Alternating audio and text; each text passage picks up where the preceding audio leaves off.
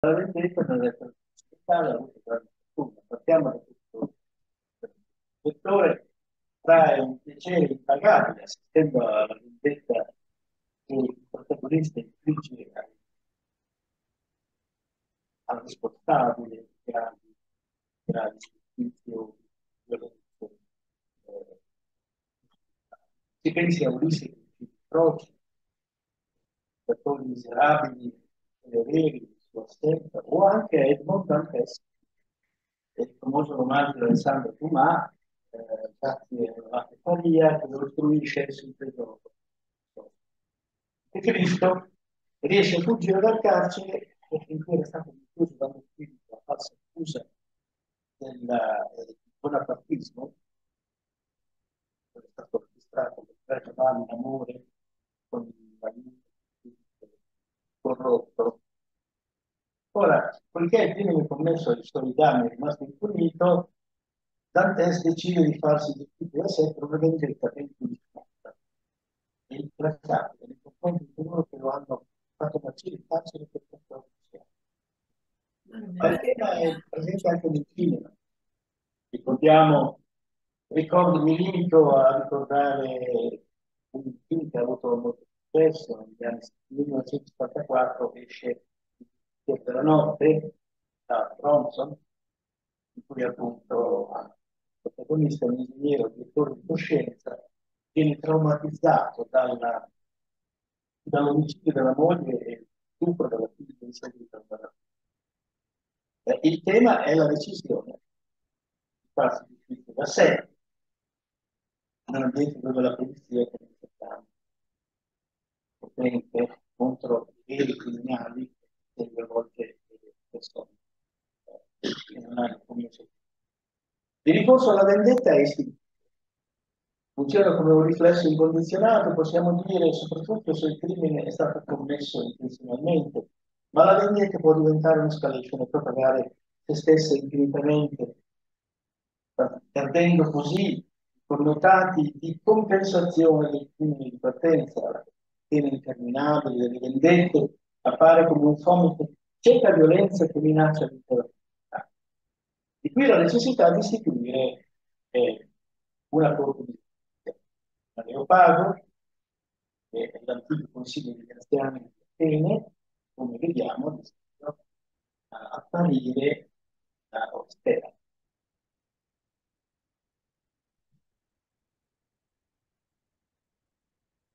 Ma il tribunale chiamato a punire il criminale e a risarcire la vittima non basta a soddisfare l'esigenza di giustizia nei confronti di tutti i protagonisti della vicenda criminale. La pena inflitta al reo consistente nella reclusione non è intesa come vendetta, può essere intesa come tale, ma come esercizio legittimo di una coercizione che ha una finalità rieducativa, ispirata dalla fiducia che il soggetto non riducibile alle sue azioni, quanto persona, possa rispettarsi e guadagnare la dignità e rispetto della società. Se la vendetta è facile, il perdono è difficile. Se la vendetta è oggetto di consenso immediato, sia nella vittima che nello spettatore, il perdono può essere addirittura aborrito e negato nell'immediatezza del fatto, quasi che il concederlo rappresenti una seconda violenza ai danni della vittima o un'offesa alla sua memoria. Insomma, vendetta e perdono sono in perfetta antitesi e sarebbero incompatibili se non intervenisse l'istituzione della giustizia che assomma qualcosa dell'una e dell'altra. La restituzione al reo per simmetria del danno arrecato tipico della vendetta e insieme l'attenzione alla persona e al suo diritto di rispettarsi che caratterizza il perdono come risposta asimmetrica al crimine commesso.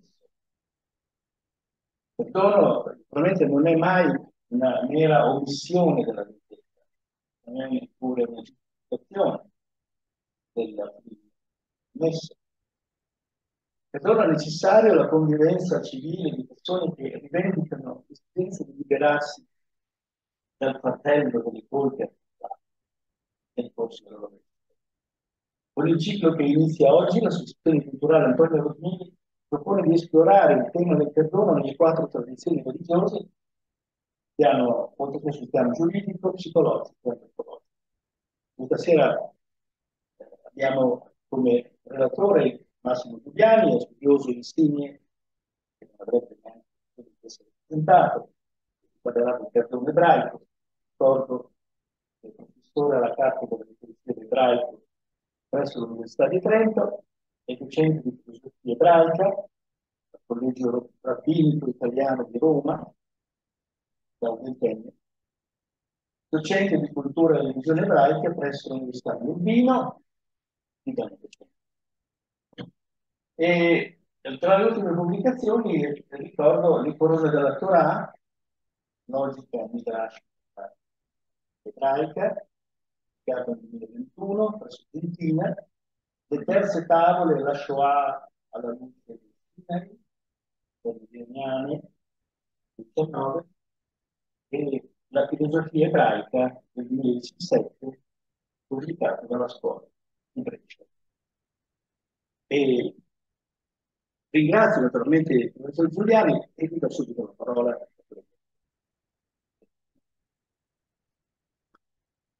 Grazie Claudio, è sempre un piacere per me tornare all'Associazione Rosmini perché sono già passato diverse volte e vedo volti noti, certo, eh, della, degli anni passati e anche qualche ex studente che in realtà sono intellettuali sempre attivi in, nel tessuto della città di Trento. Quindi, e poi ci sono delle persone, sono nove persone collegate, e non riesco a vedere naturalmente tutti, eh, i nomi, non i volti, ma la nostra, il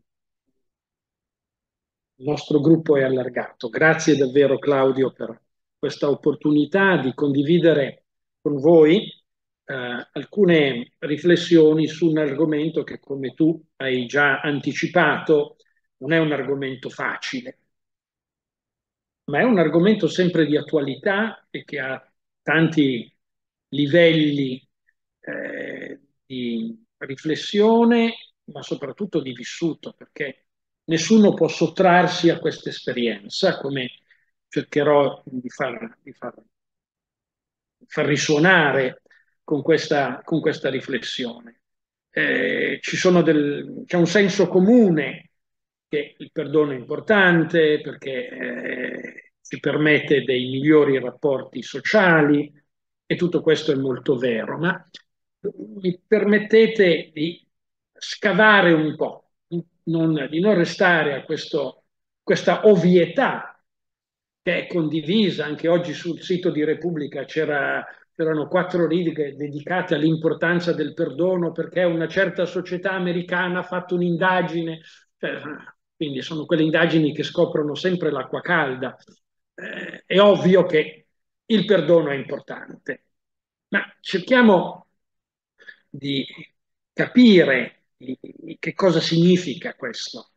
Eh, un'ovvietà non vuol dire che non sia vera, un'ovvietà vuol dire che viene ripetuta in slogan che però spesso non colgono la complessità e dunque la difficoltà di una pratica di cui abbiamo sempre bisogno, di cui l'uomo ha bisogno.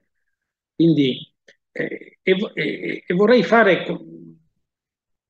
cominciare con un paio di premesse eh, che sembrano, come dire, presentare la nostra tematica eh, sotto due profili. Uno che è un profilo antropologico in senso lato, etico, politico, morale, e un altro che è il versante più religioso, che forse è quello eh, che voi volete sentire un pochino di più. Eh, allora, permettetemi eh, di cominciare con una citazione di un rabbino americano riformato che eh, ha scritto molto su tematiche della moralità. Si chiama Elliot Dorff, rabbino riformato, il quale, parlando del perdono, eh, poche righe, dice questo, e vorrei anzitutto soffermarmi su questa eh, riflessione. il perdono non implica che sia il malfattore, il cornefice, l'offensore possiamo chiamarlo, ovviamente sto traducendo dall'inglese, sia la vittima che ha subito un torto, un'offesa, quindi il perdono non implica che costoro, le due parti in causa, dimentichino il male commesso e subito. Al contrario, è parte della rigenerazione morale richiesta nella giustificazione del perdono che il colpevole riconosca la violazione, faccia voto di non commetterla più e ricordi sia l'incidente sia il voto che ha fatto di non commetterlo più in futuro, quando la stessa situazione eh, si ripresenta o può ripresentarsi. Ora, questo è un pensiero che raccoglie in sé quattro elementi che mi sembrano veramente importanti. Il primo è che tutto ciò che riguarda il rapporto tra offensore e offeso, eh, in qualunque termini si ponga, se va nella direzione di una richiesta di perdono e di una concessione di perdono, mira alla rigenerazione morale. Questo è lo, una cosa molto, molto importante perché come se il perdono fosse solo uno strumento di qualcosa, e allora è uno strumento di che? Qual è lo scopo? La rigenerazione morale delle persone. Attenzione a questo punto di entrambe le persone, sia di colui che è offensore, sia di colui che è offeso. Ma il secondo punto è che questa rigenerazione è richiesta nella giustificazione del perdono. E qui veniamo a un, a un passo molto più delicato, un, a un secondo livello, che il perdono ha bisogno di una giustificazione. Qui voglio veramente eh, sfidare un certo senso comune che pensa che il perdono è grande perché è senza giustificazione. E a questo livello etico e morale è, è falso. Il perdono non è una cosa gratuita perché come tutte le cose gratuite non vale niente. Quando, quando ci danno le cose a gratis, eh, non le teniamo nella stessa considerazione di quando invece le paghiamo, quando hanno un prezzo e quando facciamo un sacrificio per avere qualcosa. Se la cosa viene gratuita, eh, vabbè, è gratuita. Oggi c'è, domani non c'è, tutto viene livellato. Quindi questo questo tema che il perdono deve essere giustificato in qualche modo è un tema da, da, da, da non perdere di vista. E naturalmente tutto questo va al secondo livello, cioè il riconoscimento che c'è stata una violazione. La violazione è la stessa parola di violenza, ok? L'ignorare che l'offesa, il danno, uh, l'infrazione è una violenza, il non riconoscere l'elemento della violenza è, è un grave errore. Quindi occorre che questo riconoscimento parta dalla consapevolezza che c'è stato un torto e chi ha fatto il torto deve impegnarsi per avere un perdono a non commetterlo più, a non essere recidivo. Quindi il ricordo di quello che è avvenuto è necessario per rafforzare, come dire, eh, il proposito di non commettere più. Perché chi è che vuole perdonare uno che poi il giorno dopo fa esattamente la stessa cosa? Che senso ha?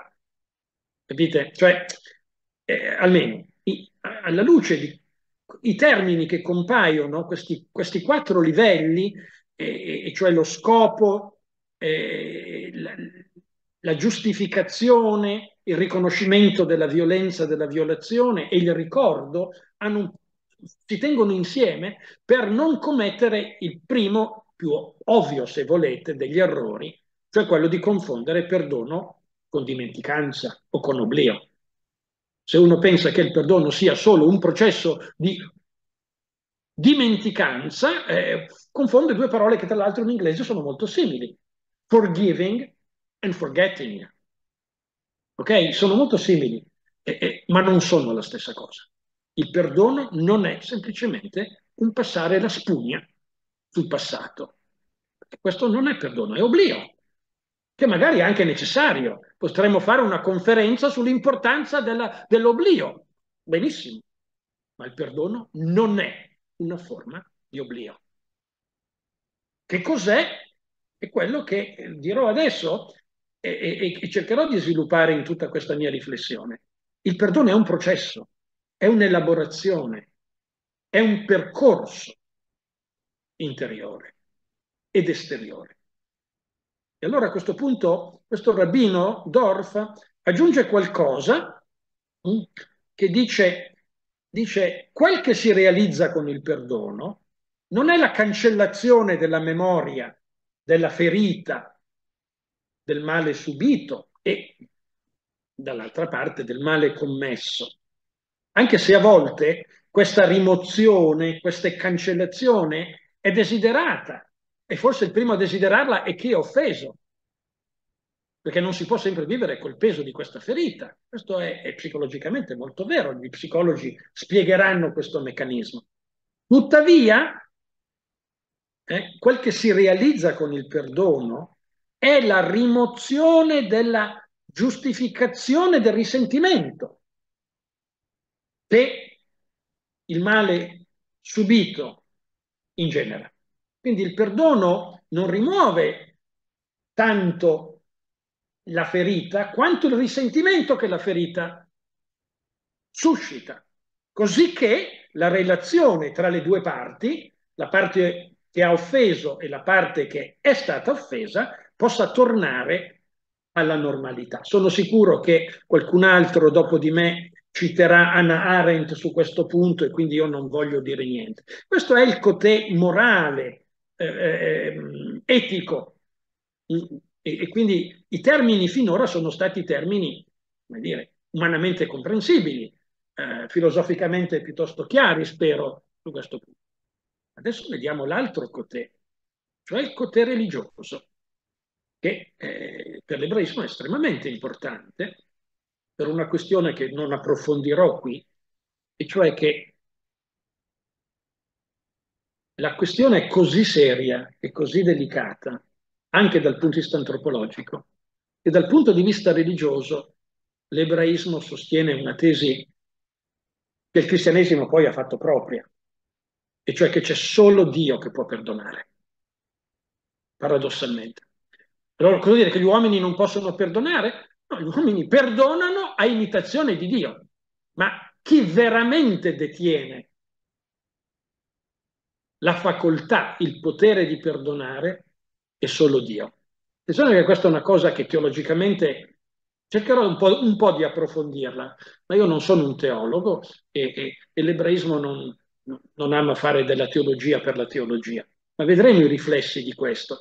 E li vediamo in, una, in un passo, per esempio, di una fonte poco nota eh, anche della tradizione rabbinica, la Tosefta, è, un raccolta, è una raccolta molto antica, che risale al secondo, terzo secolo della nostra era, quindi vuol dire a 17 secoli fa circa, un trattato che si chiama Bavakama, che riguarda le questioni dell'amministrazione della giustizia, a un certo punto dice qualcosa che dobbiamo prendere come indicatore di quanto importante sia il perdono nella tradizione ebraica. Dice, se una persona ha ricevuto un male, cioè è stata offesa, quindi ha subito un torto, eh? se una persona ha ricevuto il male, anche se l'offensore non ha chiesto il suo perdono, la parte offesa deve comunque chiedere a Dio di mostrare all'offensore compassione. Come Abramo ha pregato Dio per Avimelech, è una citazione Genesi 20, versetto 17, Abramo ha avuto un torto da Avimelech, ma prega Dio per chi gli ha fatto un torto, come Giobbe che ha pregato per i suoi amici, che non gli hanno fatto un torto, ma eh, hanno, come dire, sono stati importuni nel momento della sofferenza perché andavano lì a dirgli che se, se soffriva è perché aveva fatto qualcosa che e lui sapeva di non aver fatto nulla di male. In conclusione, Rabban Gamaliel dice, sia questo il tuo segno, che se tu avrai compassione verso chi ti ha fatto il male, Kadosh Baruch cioè il santo benedetto, il Dio benedetto, che è compassionevole, avrà compassione su di te. Fine della citazione. Capite che eh, siamo entrati in un discorso piuttosto teologico, visto che viene chiamato in causa il Santo Benedetto. Eh, allora, bisogna chiedere a Dio che il carnefice, l'offensore sia perdonato, ovviamente da Dio, perché è Dio che perdona, e fino a qui uno dice, e eh, va bene, anche se l'offensore non si era veduto. Questo, questa è la cosa veramente interessante. Quindi si chiede a Dio di perdonare chi ha fatto il male, anche se chi ha fatto il male non si è perdonato. Su questo vedrete, non tutta la tradizione è d'accordo, anzi adesso vi farò vedere che non è esattamente così, ma questa è una fonte antica che risale a 17 secoli fa, almeno il testo che abbiamo. Cosa più significativa è l'affermazione di Rabban Gamaliel, che dice il, ciò che ti distingue sia il fatto che se tu avrai avuto compassione se tu avrai perdonato chi ti fa del male, certamente il Signore perdonerà te. Questo Rabban Gamliel, voglio ricordarlo, è uno dei più importanti farisei del suo tempo. Ok? Così importante, hm, Rabban Gamaliel, prima di tutto era un co- co- contemporaneo di Gesù, proprio contemporaneo di Gesù. Tutti sanno chi è Gesù, ma nessuno sa chi è Rabban Gamaliel. In realtà è così importante che negli Atti degli Apostoli è citato due volte. Una volta è citato come maestro di Paolo. Paolo, quello che i cristiani chiamano San Paolo. Un'altra volta è citato perché quando gli apostoli sono mm, messi sotto inchiesta perché lui, lui eh, dice no, lasciateli andare, non, non vedo perché eh, la pensano così, eh, dicono quello che pensano, non c'è bisogno di arrestarli. Quindi suggerisce che non vengano arrestati. Okay, questa è l'opinione, no, visto che i vituperati farisei, no, di cui si parla sempre male, in realtà, se andiamo a vedere proprio nelle fonti cristiane, questo grande, in, eminente maestro, che era un fariseo, esce come un difensore degli apostoli. Ma non è che sta difendendo il cristianesimo, sta semplicemente applicando le norme del diritto e della compassione. Ma che cosa sta dicendo in questa fonte? Una cosa molto semplice un pensiero farisaico che è entrato nella spiritualità cristiana esattamente nel Padre nostro. Rimetti a noi i nostri debiti come noi li rimettiamo ai nostri debitori. Attenzione, questa frase è pari pari un pensiero dei farisei. Ok? Che non è che que- Rabban Gamaliel un giorno si è alzato e ha inventato questo pensiero. Era la spiritualità normale dei farisei che dicevano se tu, se tu avrai pietà degli altri, certamente il Signore avrà pietà di te. Esattamente quel che si chiede in Padre nostro. Non si dice perdonami in ogni caso. Si dice quello che in gergo rabbinico viene chiamato midà che neged midà, misura per misura. Se io sarò stato misericordioso, certamente il Signore sarà misericordioso con me. E questo non è un principio di amore gratuito, è un principio di giustizia. Quindi nel Padre nostro si chiede che Dio sia giusto con noi se noi abbiamo avuto misericordia e abbiamo... Attenzione perché ho proprio chiesto un po' di giorni fa a un amico biblista a Roma di spiegarmi il greco della parola debiti. Rimetti a noi i nostri debiti. Ho detto, ma il greco che cosa vuol dire in questa parola? E lui mi ha detto il greco vuol dire letteralmente debito, nel senso economico. Un debito è una questione economica, no? no? Quando contraiamo un debito perché prendiamo qualcosa, non lo paghiamo, oppure ci facciamo fare un prestito e poi siamo in debito di qualcuno che ci ha dato un prestito. Ma dice, e questo termine entra nel greco, e certamente Gesù non parlava greco, quindi questa parola non è di Gesù, ok? Ma dietro c'è un, certamente un termine aramaico e poi Gesù parlava aramaico, che nella polisemia tipica della, delle lingue semitiche vuol dire sia debito, nel senso economico del termine, sia peccato. Quindi capite che cosa significa? Se noi non c'è nessuno che dice il Padre nostro e pensa ai debiti che ha contratto con il farmacista piuttosto che con l'orefice, piuttosto che con il verduraio. È chiaro che quei debiti sono debiti morali, quelli che in termini religiosi chiamiamo i peccati. Capite? Ecco come si torna in qualche modo alla questione teologica. Si tratta di peccati. Rimetti a noi i nostri peccati come noi eh, rimettiamo a coloro che hanno avuto delle infrazioni. E allora vedete che il tema, il tema del perdono è molto più apparentato, mi dà che nega mi dà misura per misura, è molto più apparentato col tema della giustizia che non col tema dell'amore. E questo è un modo, vedete, non molto eh, da senso comune. Uno pensa che perdonare è una questione di amore. No, perdonare è una questione di giustizia. Vedete come le cose possono essere... E poiché nella teologia ebraica Dio è giusto e misericordioso, in lui le due cose coincidono. Ma poiché noi siamo noi e non siamo Dio, eh, noi facciamo molta più fatica a vedere come nel perdono giustizia e amore eh, convergono. Ci ho detto, a questo punto ho tirato in ballo, ho chiamato in causa il concetto di peccato. Okay? E quando si pensa al perdono, soprattutto in ambito religioso, è chiaro che c'è il problema del peccato. Allora, qui permettetemi di fare un piccolo flash. Ma da dove nasce l'idea di peccato? Ora, in termini eh, ovviamente simbolici, no? Il peccato compare sulla scena delle scritture con Adamo ed Eva nel famoso capitolo 3 del libro della Genesi, è una storia che tutti sanno così bene, per cui non dirò niente. Ma la cosa che voglio dire è che la tradizione cristiana vede in Genesi 3, cioè nella trasgressione, nella disobbedienza di Adamo ed Eva, del non mangiare il frutto dell'albero che sta al centro del giardino, è, come dire, il testo fondativo della dottrina del peccato originale. Ok? Il peccato originale è un'elaborazione che il cristianesimo ha fatto a partire da Agostino. Voi non trovate una dottrina del peccato originale prima di Agostino. Agostino vuol dire tra il IV e il V secolo. E Agostino elabora il concetto di peccato a partire da Genesi 3 come un peccato metafisico. Tanto è vero che la tradizione cristiana dice viene trasmesso a tutti quelli che nascono.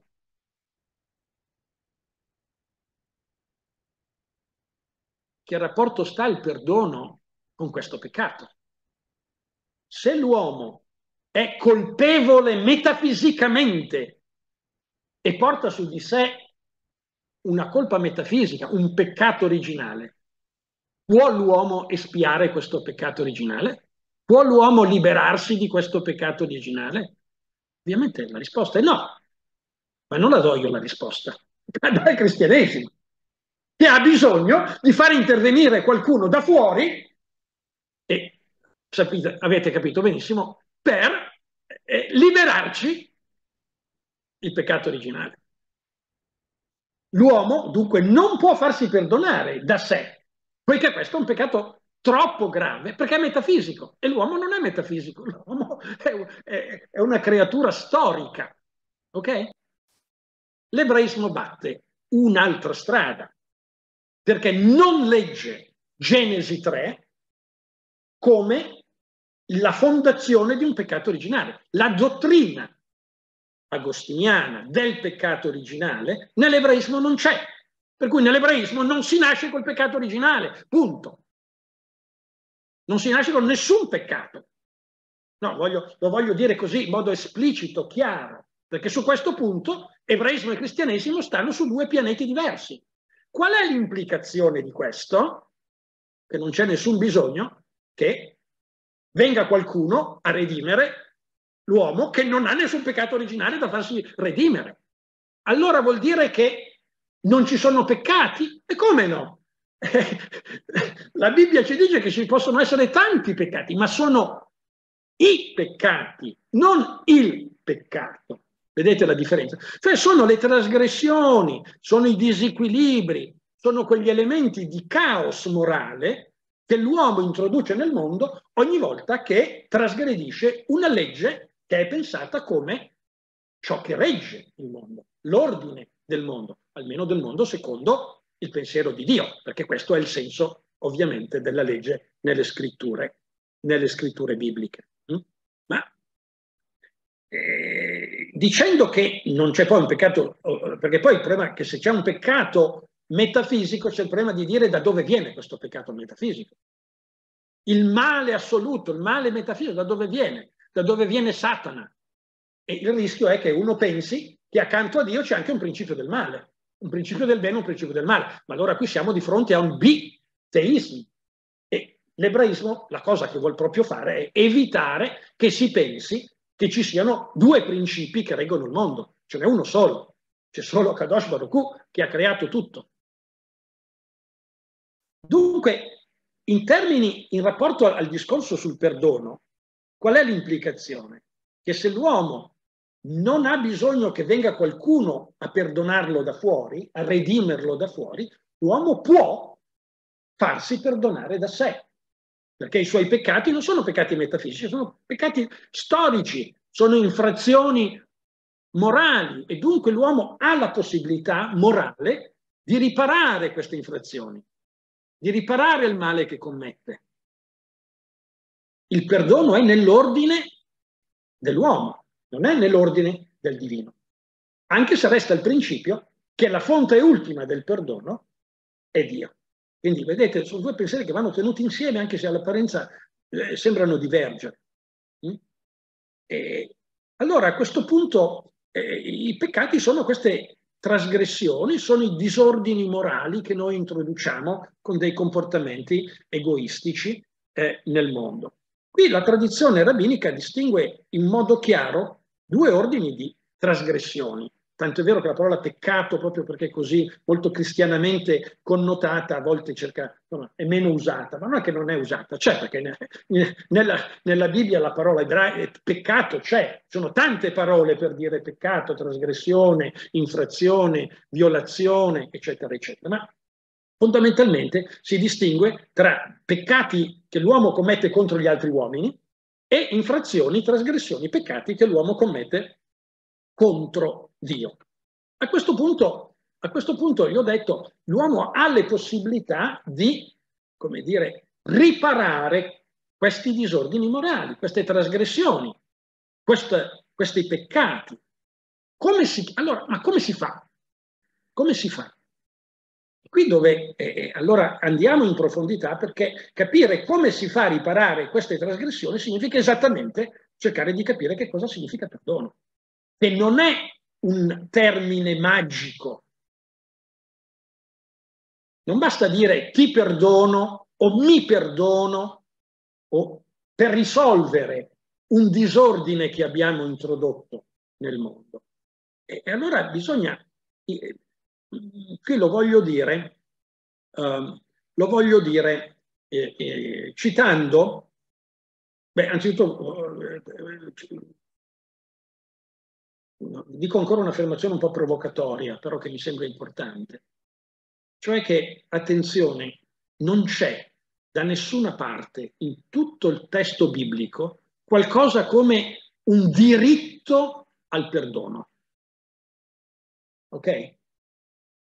Non c'è un diritto al perdono, c'è un dovere di farsi perdonare, che è un'altra cosa.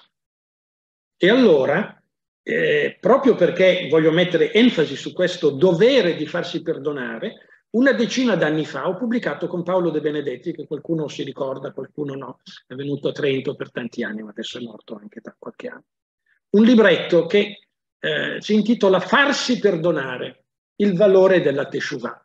Okay? Questo librettino di Morcelliano uscito un po' di anni fa, una decina d'anni fa più o meno. Ecco. E se mi permettete, eh, vorrei qui ho riassunto in maniera abbastanza chiara. Mm. In presenza di un peccato verso gli altri, che in termini laici potremmo definire una mancanza di rispetto dell'altrui dignità, un atto di irresponsabilità che pone o espone qualcuno al pericolo fisico o morale, un'infrazione del patto sociale che regge la convivenza, eccetera. Allora, chi commette uno di questi peccati e si precipita a chiedere perdono, pensando che ogni colpa abbia diritto automaticamente al perdono, si sbaglia una seconda volta. Come ci insegna il filosofo Paul Ricoeur, grande pensatore del secolo scorso, il nesso colpa-perdono viene dopo, molto dopo, in essi i rapporti colpa-punizione e colpa-espiazione. Sono cose che Claudio ha già detto in qualche modo, accennato nella sua introduzione. E solo quando punizione e o espiazione non riescono a elaborare la colpa e a compensarne i danni, come se il perdono fosse un'estrema razio, è è l'ultima chance che va evocata solo dopo che abbiamo espletato il percorso, dopo che ci siamo incamminati sulla strada della punizione e o dell'espiazione. Questo è quello che succede in ogni, in ogni società. Sarebbe invivibile nostro, la nostra convivenza sociale se noi abolissimo il tema della punizione per chi sbaglia. Cioè, mettiamola in termini un pochino più leggeri. Se dicessimo che eh, per chi fa eh, evasione fiscale ah, non succede niente, benissimo, però diventiamo tutti evasori fiscali. Eh, per chi passa col rosso non c'è nessuna multa, beh allora passiamo tutti col rosso. Cioè, capisce? Se non c'è una, un, una punizione rispetto a un'azione sbagliata, fosse anche il passare col rosso al semaforo, eh, allora eh, non ci sarebbe più convivenza. Quindi la punizione, che, che poi sia un... non sto parlando di punizioni fisiche, una punizione pecuniaria, cioè uno prende una multa, ma quella è una punizione. Perché? Perché c'è una regola, che è la regola che serve per la convivenza e chi la infrange deve pagare. Oppure per livelli più, ovviamente, più sofisticati, c'è il tema di un'espiazione vera e propria, perché la punizione può essere, come Claudio ha già accennato prima, pensata veramente in termini di ricostruzione, rigenerazione morale. Allora questa, questa volta non è solo una punizione per la punizione, è una espiazione. Allora, qui eh, questo è un tema delicato, delicato perché spesso eh, i luoghi comuni, una certa superficialità, pensa che una volta che c'è la colpa, subito bisogna pensare al perdono. E, e Ricordi ci ha appena detto, non è così. Tra la colpa e il perdono c'è un'altra cosa importantissima in mezzo, ed è l'espiazione.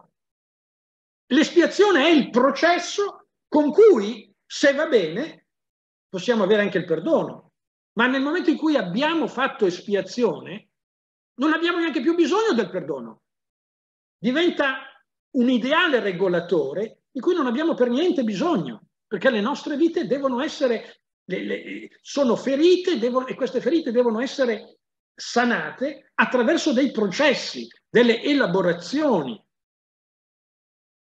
E questa elaborazione è, è, ha un nome molto chiaro in ebraico ed è, il, ed è la seconda, cioè il titolo è farsi perdonare, perché se io dico bisogna perdonare. Chi ha la responsabilità di perdonare?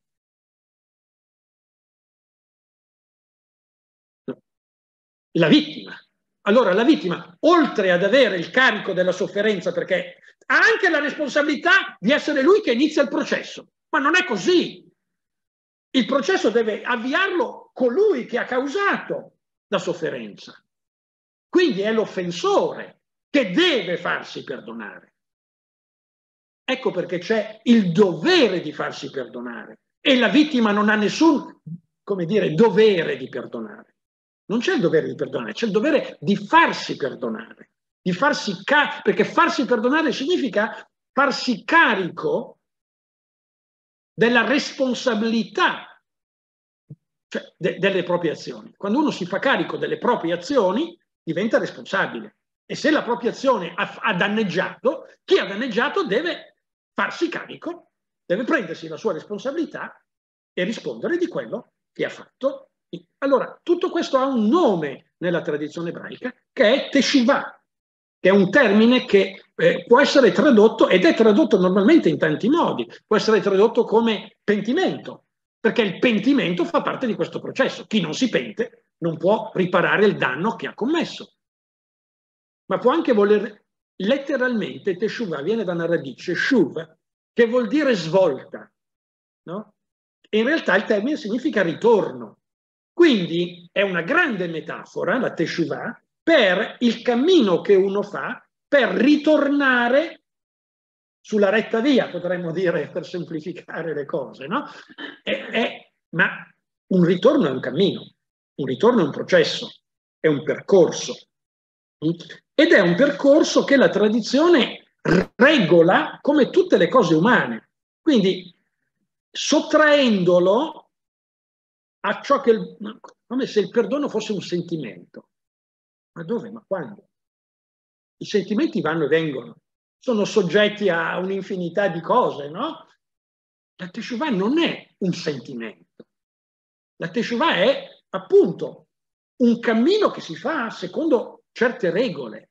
E allora, posto anche che ci voglia una certa dimensione interiore, una grande dimensione interiore, perché se non c'è dimensione interiore, eh, che cosa serve? No, no, non c'è il cambiamento, il cambiamento deve partire dal cuore, il cuore. Allora, proprio in un'opera scritta nell'undicesimo secolo, da un grande maestro che si chiamava Bakia Ibn Pakuda, che scrive in arabo, hm, nella penisola iberica dell'undicesimo secolo, che era sotto il controllo degli arabi e la lingua anche per gli ebrei era, era l'arabo, scrive un'opera che poi è stata subito tradotta in ebraico, ha avuto un grande successo in ebraico, eh, Levavot, che non a caso si chiama I doveri dei cuori, i doveri dei cuori, hm? ed è veramente tutta un'opera che cerca di mostrare l'importanza dell'interiorità, della motivazione interiore, della dimensione spirituale, diremmo oggi.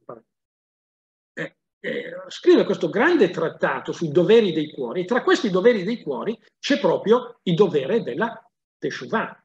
Okay? E quali sono i termini di questa Teshuvah?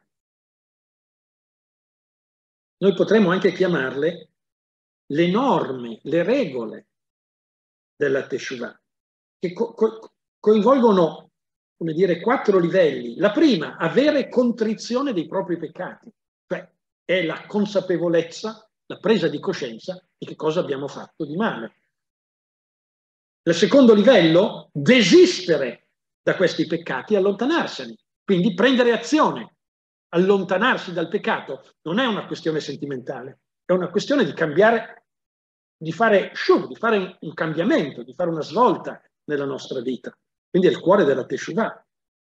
Il terzo livello è confessarli, confessare i propri peccati e chiedere il perdono. Qui attenzione, questo confessare i peccati non ha niente a che fare con la confessione cattolica di andare dal prete a, farsi, a dire i peccati e farsi assolvere. La confessione dei peccati è, è riconoscere davanti a Dio e anche ad alta voce che abbiamo sbagliato, ma riconoscerlo anzitutto noi stessi e chiedere il perdono. Questa, questa richiesta deve essere in qualche modo formalizzata, non può essere solo un pensiero. I pensieri vanno e vengono, deve essere formalmente fatta questa richiesta. E infine impegnarsi in coscienza a non ricadere più in questo peccato.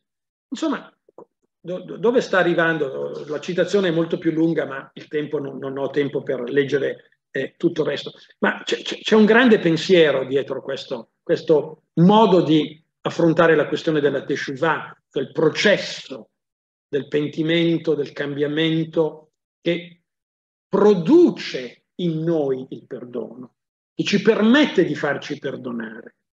Ed è il pensiero che il perdono è condizionale. Questo è controintuitivo, perché il perdono deve essere incondizionato. No, il perdono è condizionato. Cioè il perdono si può ottenere solo a certe condizioni. È, la spugna sulla lavagna che è incondizionata. Ma se è un processo, se ha delle tappe in qualche modo, che possono essere verificate, e, e, allora il perdono diventa qualcosa, come dire, che ha una, una rilevanza morale e oggettiva, perché se il perdono fosse invece semplicemente un atto di arbitrio, anche un atto di arbitrio divino, la nostra responsabilità sarebbe azzerata. Quindi il processo deve essere ancorato nel processo di responsabilizzazione di chi sbaglia.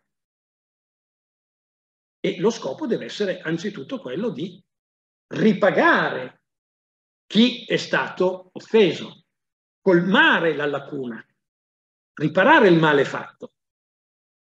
Quindi se la colpa è espiabile, è alla fine del processo in qualche modo uno si trova riconciliato con il prossimo, naturalmente anche con Dio, nella misura in cui il, il comandamento che riguarda il prossimo ha come garante ultimo lo stesso datore della legge che è il Signore benedetto. Il problema si pone se la colpa non è espiabile. E qui devo per forza tornare a citare eh, eh, Bakia ibn Pakuta, eh, che parla nell'undicesimo secolo di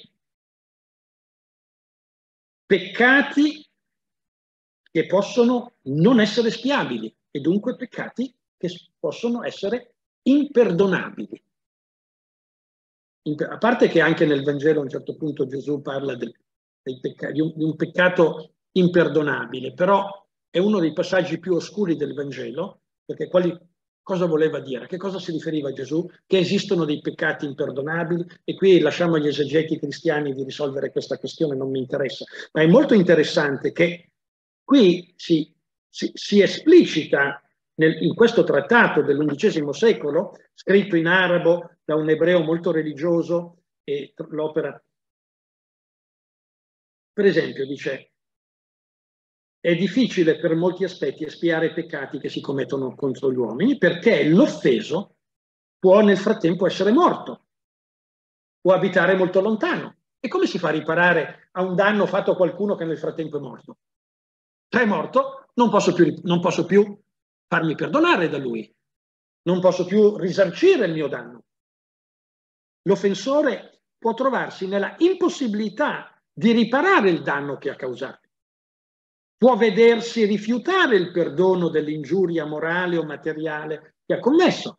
Ci può anche essere il caso di chi non vuole dare il perdono a chi ha commesso un crimine, oppure non conoscere, oppure uno può aver fatto un male a chi ha colpito qualcuno ma non sa chi ha colpito, quindi una vittima che, eh, di cui non conosce neanche la, l'identità, oppure non riesce a quantificare il danno l'ammontare del danno che ha fatto a questa vittima. L'oggetto del furto può trovarsi incorporato in beni personali eh, di uno che vuole fare penitenza, che vuole fare teshuvah, ma eh, adesso è molto difficile togliere quello che ha sottratto ad altri. E qui i dottori del Talmud, i maestri del Talmud, fanno un esempio estremamente emblematico di un ladro che ha rubato una trave una grande trave, e l'ha usata per costruire la propria casa. Allora, mi dà che neghet mi dà, se vuoi hai rubato la trave, restituisci la trave che hai rubato. Cosa c'è di più logico? Sì, ma nel frattempo la trave l'ho usata per costruire la casa. Cosa deve fare? E naturalmente i maestri del Talmud, come sempre, si dividono in due scuole, in due scuole di pensiero. Allora, Rabbi Shammai, che è il più piuttosto dice molto semplice, distrugge la casa, prende la trave e la restituisce. Punto. E, e da un punto di vista della giustizia eh, eh, ha rubato una trave, ha rubato quella trave, quella trave deve restituire, non fa una piega. Invece Rabbi Lel, che è il suo, l'altro compagno, l'altra grande scuola, non è d'accordo con Rabbi Shemai e dice per rendere più agevole, agevole la riparazione bisogna che chi ha rubato la trave rimborsi colui per il valore economico della trave. E così non deve distruggere la casa. Però vedete, è interessante che il Talmud, le due scuole, presentino tutte e due le opinioni. E non si può dire che una ha più ragione dell'altra da un certo punto di vista. Certo, dice, è molto più facile se alla fine quello rimborsa, ma è solo un esempio. Non attacchiamoci all'esempio. Quello che conta è la logica che sta dietro. Quando si è nella difficoltà, capite? Eh, perché eh, ed è in questa chiave che viene interpretato da tutta la tradizione rabbinica la cosiddetta legge del taglione. Mm? Occhio per occhio, non vuol mica dire che bisogna andare a togliere l'occhio di chi ha danneggiato il mio occhio, bisogna compensare. Ma la cosa è che quanto vale un occhio di una persona? Quanto vale una mano di una persona quando questa non ce l'ha più? Chi è che fa il, chi, chi fa il calcolo? Il giudice. È facile dirlo, il giudice. E se chi, la, se chi non ha più l'occhio, non ha più la mano, no, no, non si accontenta di quello che il giudice ha detto e ha fatto.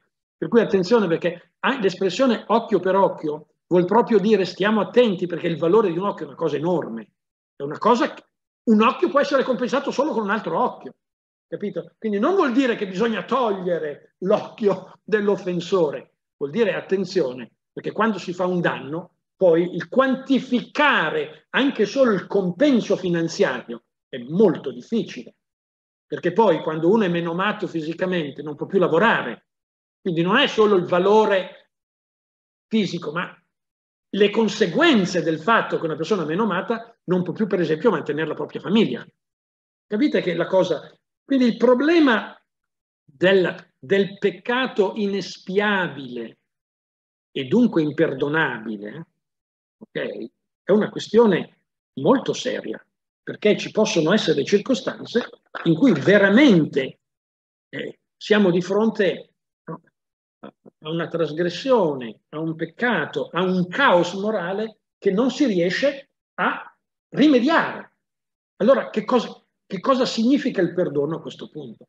Vedete che a questo punto entra la questione teologica cioè quello che l'uomo non può fare, eh, bisogna fidarsi a qualcosa di più grande, al mistero di Dio. Ecco perché in ultima istanza, ma tutto questo è come un'ipotesi di studio, perché in realtà nella vita quotidiana la maggior parte dei nostri peccati sono assolutamente spiabili, però bisogna fare un percorso.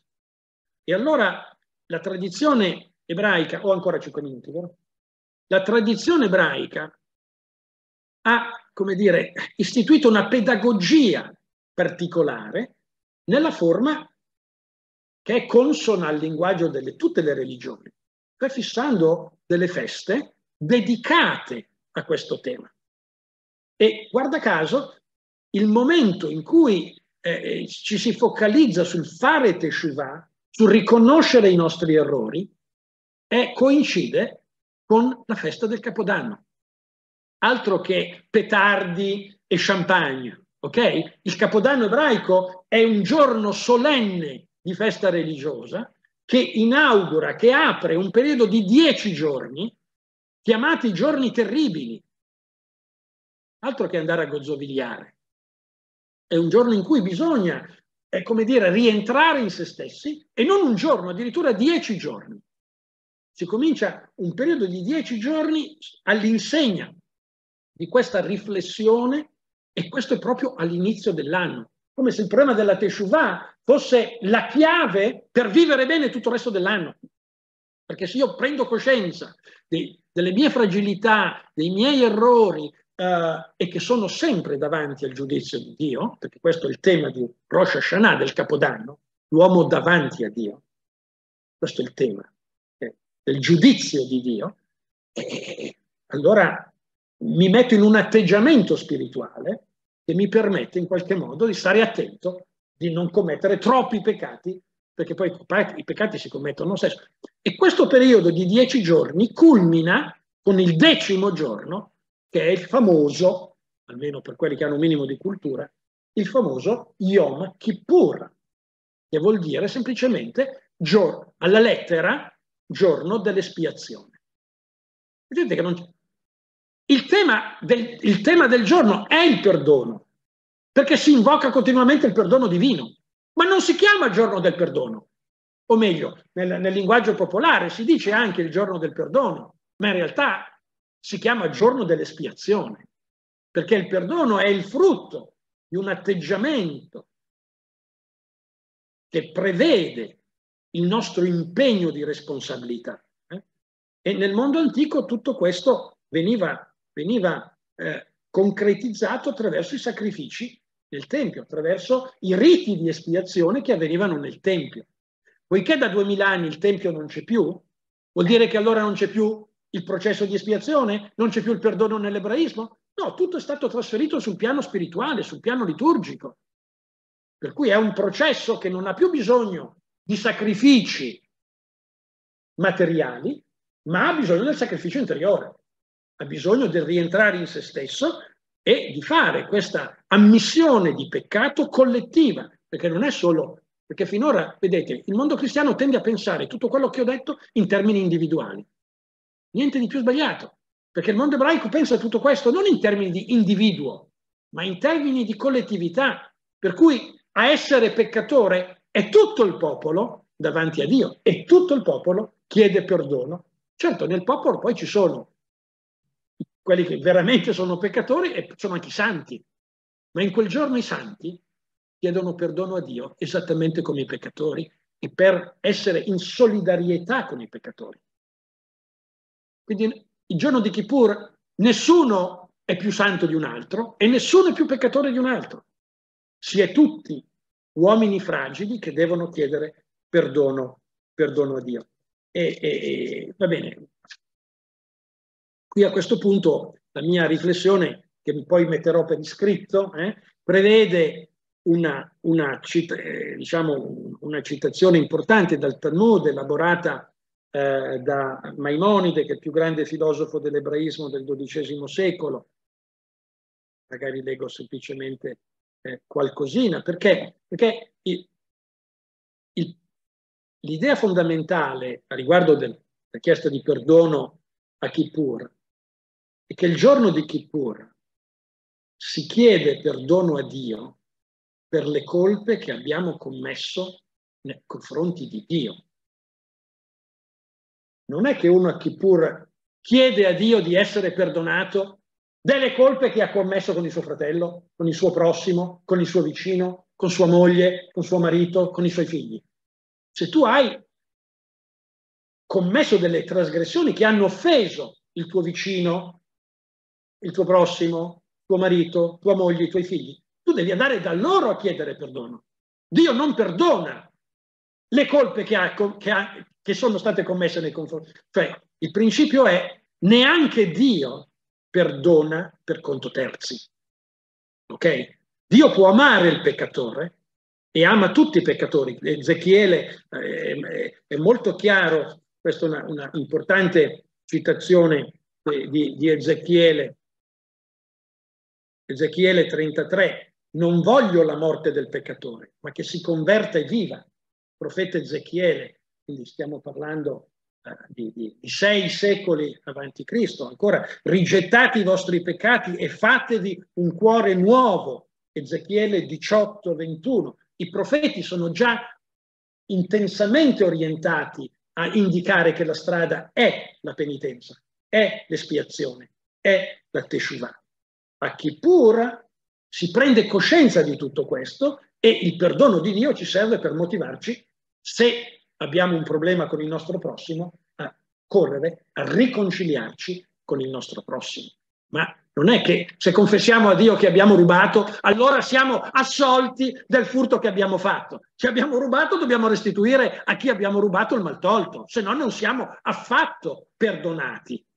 Se no, se no che, che cos'è questo perdono? Che se, no? se Dio dicesse sì, sì, ti perdono del, di tu, de... allora è una presa in giro, capite? Questo non è più Dio, perché non è, non è il garante di chi è stato offeso, non è il garante del debole, non è il garante della giustizia. È un Dio di comodo, è un idolo, è un idolo. Quindi, come vedete, l'ebraismo ha grande consapevolezza che si tratta di questioni estremamente serie, che devono responsabilizzare eh? e, e, che rimane come un grande dubbio il problema se esista o non esista un perdono eh, eh, davanti a colpe che sembrano veramente imperdonabili. E qui, ovviamente, nel libretto che ho scritto con Paolo De Benedetti, ho proprio affrontato la questione eh, eh, il, con il, un capitoletto intitolato Il perdono, l'imperdonabile e le porte della Teshuvah. Ecco, e, e naturalmente per il mondo ebraico di oggi il grande, il grande tema dell'imperdonabile si intreccia con la questione della Shoah, della Shoah. E allora qui cito uno scrittore molto, molto noto, Simon Wiesenthal, che eh, scrisse forse il suo romanzo, che non è un romanzo, è una, una novella morale, è un, un conte morale, direbbero i francesi, Il girasole, eh?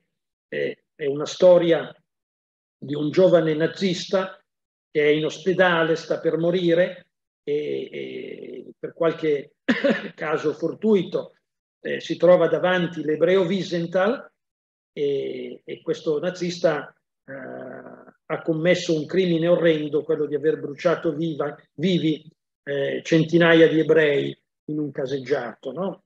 E che cosa fa Wiesenthal? Non, non gli risponde, se ne va. Quindi e questo, questa è, fondo, è, di, è, la tesi di fondo, però è interessante perché Wiesenthal eh, raffigura qui questo ebreo che non gli dice no, non ti perdono, ma non gli risponde, cioè si chiude in un silenzio come per dire io non posso, anche se volessi, non posso, perché, perché ci vorrebbero loro, quelli che tu hai ucciso, loro sono quelli che dovrebbero perdonarti, non io, io non posso perdonare per gli altri. Noi non possiamo perdonare per gli altri, ma questa è una cosa moralmente intuitiva. Noi possiamo perdonare per noi stessi. Ma ancora una volta, più che perdonare, noi abbiamo il dovere morale di farci perdonare. Per fortuna no, i nazisti non nascono tutti i giorni e nessuno di noi è un nazista, quindi nessuno è nelle condizioni così estreme di, di cui si parla in questa, in questa storia. Ma eh, la questione appunto del, del evitare eh, quei perdoni facili che in realtà non sono veri perdoni, o sono forme di oblio, o sono, o sono degli alibi morali per non prenderci fino in fondo le nostre responsabilità. E chiuderei, perché è, è, già esattamente 60 minuti che sto parlando, con, con eh, un commento di Paolo De Benedetti ha un, un, versetto di un profeta, profeta Osea, capitolo 14, versetto 2, dove si ritorna, o Israele, al Signore tuo Dio. Ritorna è appunto lo stesso verbo da cui si origina la parola teshuvah. Eh? Teshuvah. E, e, commentando questo, questo, versetto del profeta Osea, Paolo De Benedetti eh, cita questa interpretazione di un antico testo ebraico che risale ai primi secoli della nostra era, i figli di Israele gli dissero, Signore del mondo, abbiamo timore delle nostre iniquità, tante che sono. E Davide disse, Salmo 38, le mie iniquità hanno superato il mio capo. Ed Esra, nel libro di Esra, disse, le nostre colpe si sono moltiplicate fin sopra la nostra testa le nostre iniquità, la nostra iniquità è aumentata fino ai cieli. E che cosa rispose Kadosh Baruch il santo benedetto? Non temete il cumulo delle vostre iniquità. Se sono aumentate fino ai cieli e voi decidete di fare teshuvah, desiderando tornare, io vi perdonerò. E se anche sono, si sono accumulate fino al primo, al secondo, al terzo cielo, addirittura fino al settimo cielo, anzi fino al trono della gloria. Se decidete di tornare, subito io vi accoglierò. Questo è un antico testo che dimostra come eh, eh, anche se esiste la consapevolezza che non tutto è perdonabile, ma le porte del perdono, le porte della Teshuvah nella tradizione ebraica non si chiudono mai.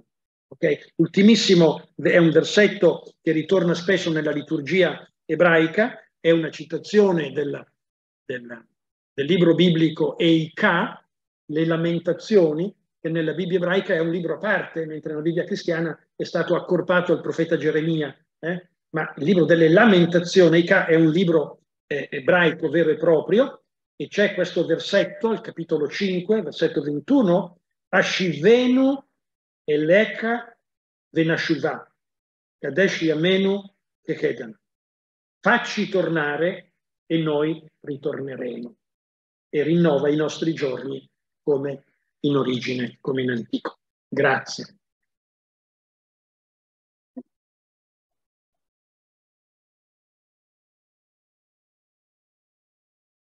Grazie per la dubbia chiarezza della questa bella lezione. Ecco, naturalmente noi adesso siamo nella situazione in cui possiamo dire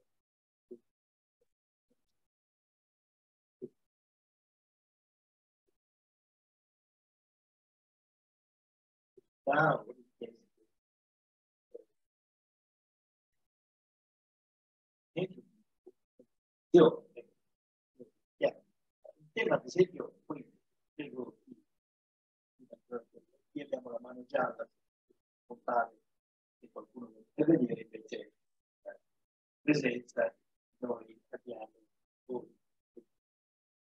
per chiedere il tema del libro del video, perché è chiaro che se qualcuno commette il fatto, eh, la situazione di distanza di libertà, non, si rende conto, ma è chiaro che non può essere eh, perdono senso che perdono per quello che si sia naturalmente chi commette il crimine e al tempo stesso poi questo deve essere possibile, rende possibile anche il percorso, la tesciuva, appunto, il cammino di ritorno, che è importante per e devo chiedere poi l'altra una cosa molto veloce, diciamo Schuld in tedesco, che sia tempi colpa. E allora, eh, naturalmente, i due concetti non si, non si possono confondere, ma al tempo stesso sono una parentela profonda. Quindi eh, la, la, colpa è un debito, diciamo, più generale, ma è una forma di debito. E a proposito del, dell'indebitamento, l'indebitamento proprio in senso materiale. Devo che prevedere che 50 anni ci fosse la condizione di debito, cioè forma di perdono automatico, cioè, o sì. se non ricordo male. Ecco, sì. come, si inquadra questo? Sì, sì, questo ci avevo proprio pensato che poteva uscire questa cosa e tu giustamente l'hai sollevata. È, è una questione molto delicata, è chiamata eh, l'anno del giubileo. La parola giubileo, che eh, nel mondo cattolico viene usata per eh, diciamo, questo ciclo di 25 anni, dico bene, no? Eh, in realtà viene dalla tradizione biblica e anche il termine giubileo è, è un termine ebraico, viene da Yuval, ok? Che eh, indica questo suono del corno che veniva fatto per annunciare eh, l'inizio di questo periodo così speciale che è, avviene ogni 7 per 7 anni. Allora, 7 per 7 anni sono 49, il cinquantesimo anno diventa il giubileo. Attenzione perché questa simbologia è molto importante, perché nella, nella, nella la normativa eh, che riguarda eh, la vita economica, il ritmo non era quello dei, 40, dei 50 anni, ma il ritmo era quello dei 7 anni, perché era l'anno in cui la terra doveva riposare. E far riposare la terra in una società agricola vuol dire non lavorare per un anno. E di che cosa vive la gente? Di cosa vivono i poveri? Ma attenzione, questa, co questa cosa aveva lo stimolo no, di ricordare comunque che la natura è generosa. Oggi viviamo in condizioni di così, così grande alienazione rispetto alla natura. Nel mondo antico si ci si poteva permettere di rispettare il riposo della terra, perché comunque la terra avrebbe dato frutti abbastanza per la popolazione che viveva, uomini e animali. Quindi, e in questo modo si, che cosa si instillava? Si instillava l'idea che noi non siamo i proprietari e che la nostra vita non dipende solo dal nostro lavoro, ma dietro il nostro lavoro c'è la generosità della terra, la fecondità della natura e c'è Kadosh Baruch che è il creatore del mondo mm? e noi siamo parte di questo. Perdendo questo, questa idea del ogni sette anni non si lavora, ogni sette anni si vive di quello che la terra produce, si instilla l'idea che l'uomo non è proprietario della terra. Ma per dire che l'uomo non è proprietario della terra c'era esattamente il 7 per 7, cioè ogni sette settenari arrivava il cinquantesimo giorno e, e il messaggio era ancora più forte, e cioè il messaggio è che in quel giorno tutti i contratti di proprietà venivano annullati. Ora, provate a pensare cosa significa in una società se noi dovessimo applicare che i contratti di proprietà sono annullati. Ok? E allora,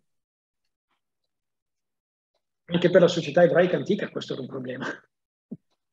Quindi bisognava o trovare un escamotage, e questa è stata spesso una, una via seguita, ma gli, diciamo, gli studiosi ci dicono oggi che in realtà questo è uno di quei precetti che neanche nel mondo antico riusciva a essere osservato, proprio per la sua complessità, ma non perché era impossibile da applicarsi, qualcuno ha pensato, beh, allora lo cancelliamo. Quindi rimane che nella Torah ci sono delle leggi così esigenti perché richiamano alla, re, in cui si prevedeva la remissione dei debiti. Ma capite che allora si dice, beh, se adesso arriva il cinquantesimo anno, faccio un sacco di debiti, tanto l'anno me li risolve. E non funziona così. Quindi la, la legislazione doveva prevenire questo abuso e una forma per, il modo per prevenire l'abuso era di non applicare fino in fondo la regola. Rimane come valore, valore etico, o come Kant avrebbe detto, un ideale regolatore, anche se non aveva trovato concretezza nell'applicazione. Non so se ho risposto, la questione è complessa, però capisci.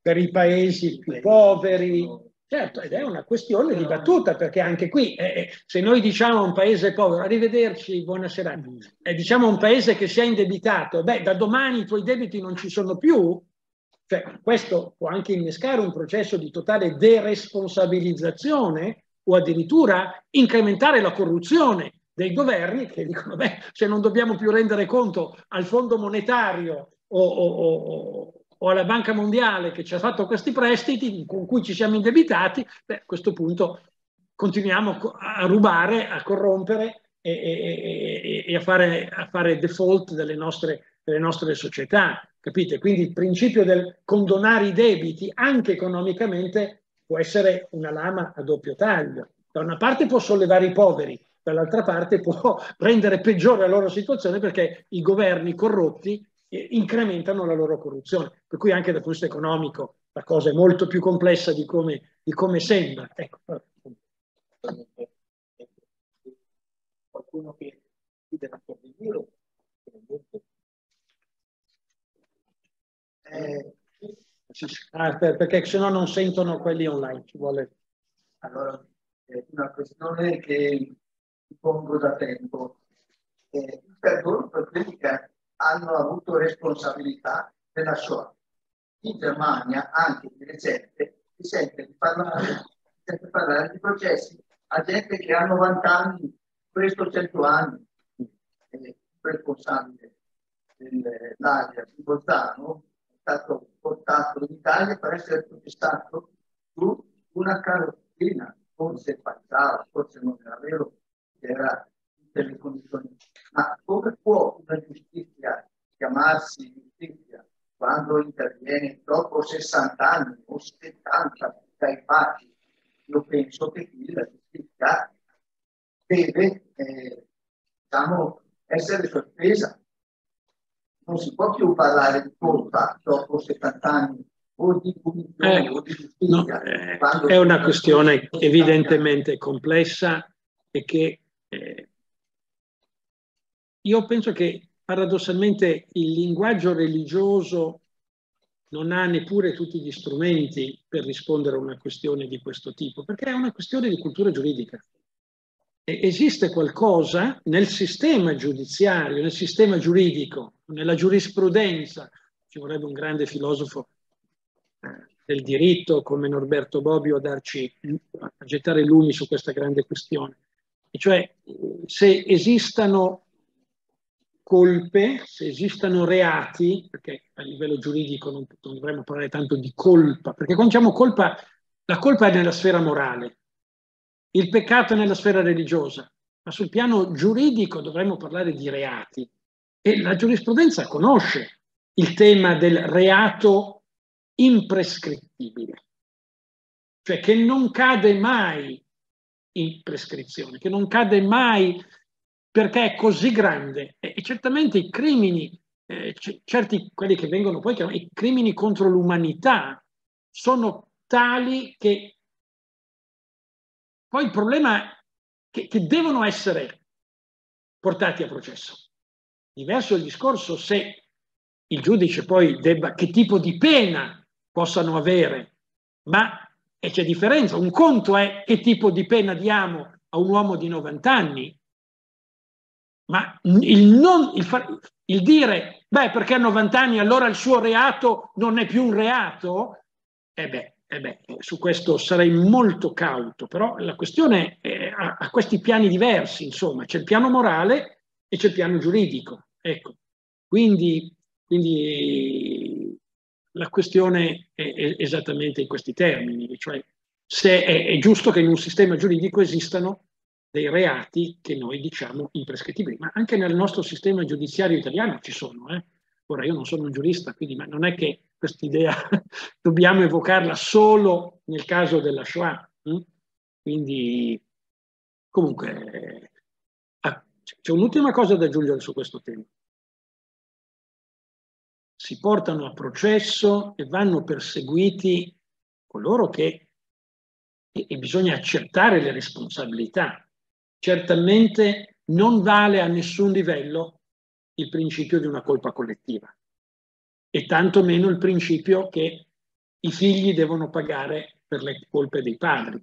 in fondo la società tedesca è forse l'unica vera società in Europa che ha veramente elaborato con enorme sacrificio, e lo so perché nei miei anni in cui ho vissuto in Israele avevo dei buoni amici tedeschi e, e, ho visto, e questi, eh, semmai i loro nonni, eh, eh, neanche forse i loro padri, forse i loro nonni erano stati, ma, eh, ma, io ho visto nelle, nelle, insomma, nella generazione dei figli, dei nipoti eh, nel mondo tedesco processi veramente profondi di elaborazione della, di una colpa che non avevano commesso, ma in questo caso purtroppo le colpe dei padri vengono, vengono a pesare anche sui figli, anche se i figli non hanno commesso le colpe dei loro padri, quindi non possono essere ritenuti colpevoli giuri, giuridicamente, ma la colpa morale può intaccare anche le future generazioni.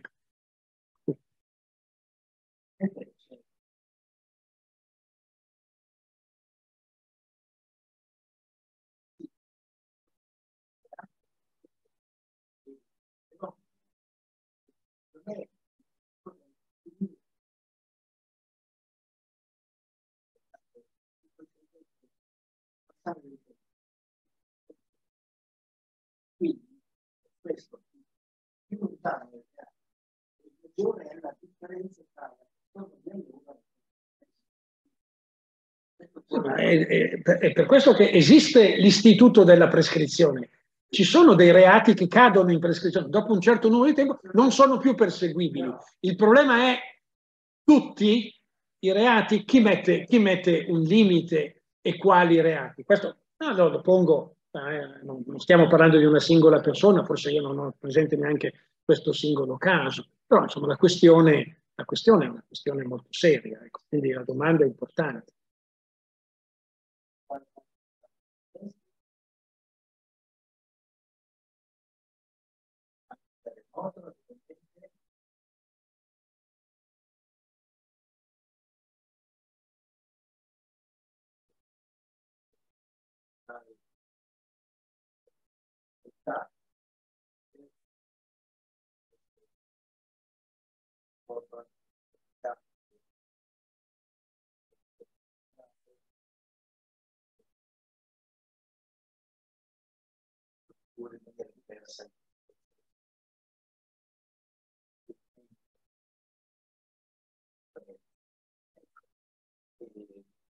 Va bene, quindi se non ci sono chieste intervento, noi ci salutiamo, ringraziamo Giuliani e, e naturalmente ci spero che possiamo ritrovarci per ascoltare.